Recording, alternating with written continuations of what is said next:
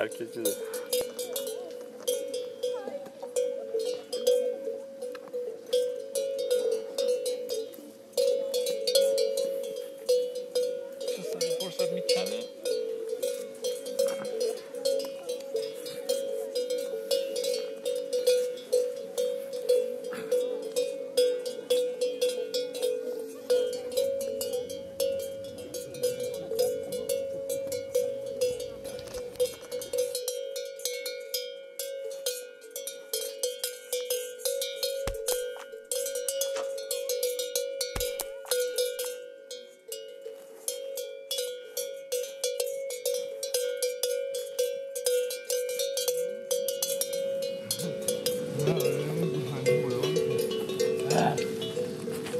ببین باردار آره.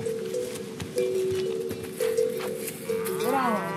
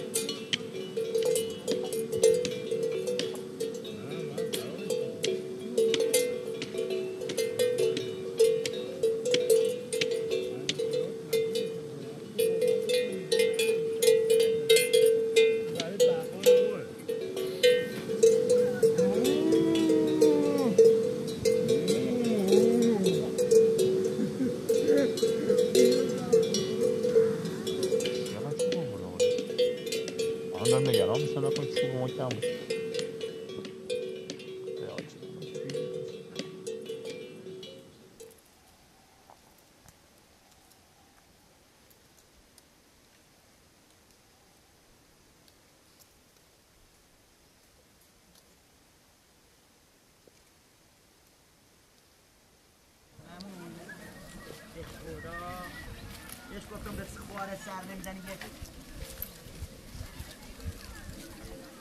چونی برداشتی و بودی یه دست استکون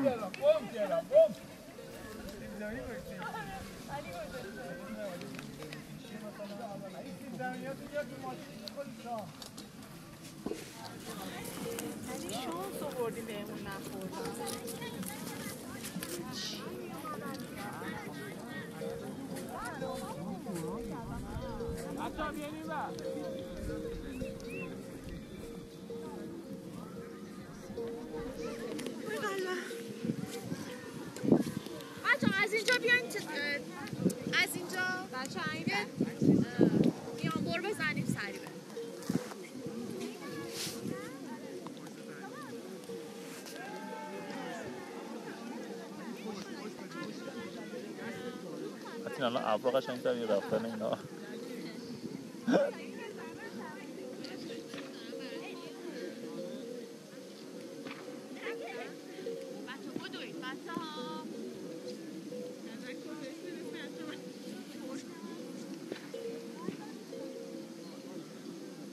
همه با هم بریم ایشالا به سلامتی